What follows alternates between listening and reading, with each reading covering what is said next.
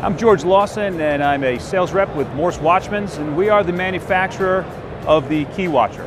Now for those of you who are not familiar with the Key Watcher, it's a computerized key control system and what it's designed to do is not only track and record every key that comes in and out of the box, but also secures these keys. The way it works is pretty simple.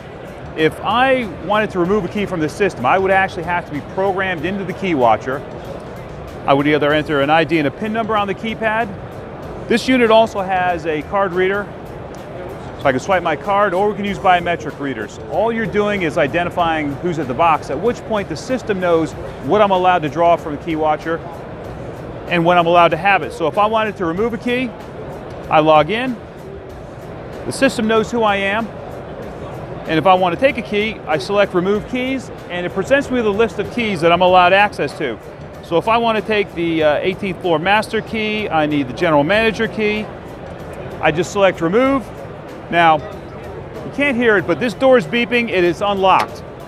The door opens and it actually lights up the key that I've allowed, that I've requested and releases it.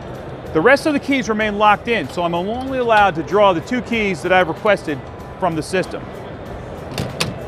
Also, what's taking place in the background is that this event that I just performed, the keys that I've removed, have been recorded and sent to my server. So all the information, everything that I've done at this system is now recorded and you would have the ability to access that via our TrueTouch software.